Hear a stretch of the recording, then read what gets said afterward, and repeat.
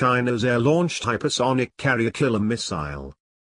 A new video of a Chinese People's Liberation Army Air Force Xi'an H-6N, bomber carrying an air-launched anti-ship ballistic missile, a highly intriguing weapon, known by the Western countries. This missile remains mysterious. The video began to circulate on social media today. The huge missile on the centerline of the H-6N certainly appears to be related to a ship-launched version of the DF-21D anti-ship ballistic missile. As to the H-6N, this variant of the prolific H-6, itself a Chinese-built development of the Soviet-era Tu-16 Badger, has been tailored for long-range strategic missions, aided by its aerial refueling capability.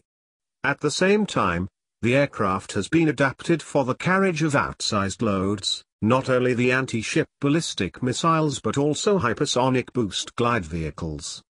While the value to Beijing of a long-range strike aircraft able to haul anti-ship ballistic missiles to launching points far from Chinese shores is clear, it's fair to say that little is known for certain about this particular anti-ship ballistic missiles. Most analysts agree, however, that the anti-ship missiles is a development of the DF-21D with an estimated range of between 800 and 900 miles. The DF-21D is thought to carry a conventional warhead and is able to maneuver dynamically during its re-entry phase, providing it with the ability to attack moving warships. The DF-21D and by extension, the air-launched anti-ship ballistic missiles would provide warship captains with a particularly challenging threat.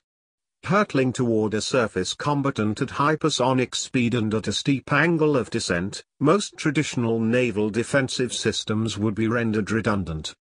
It's little surprise, therefore, that this category of weapons has been dubbed carrier killers.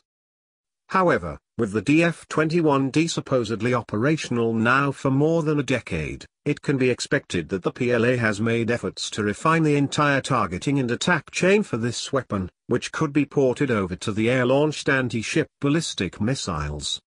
Like the anti-ship ballistic missiles, this would be based on an existing ground-launched design, probably the DF-17, which features a boost glide vehicle as its terminal stage. Like the DF-21D carrier killer, if China is indeed pursuing an air-launched hypersonic missile, such as a DF-17 mated to the H-6N. As it stands, however, analysts seem to be in broad agreement that what we are seeing in this latest video is indeed an air-launched anti-ship ballistic missile.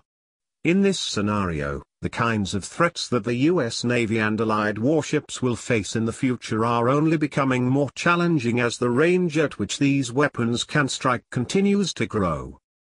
Thank you for watching. Please like, share, comment, and subscribe.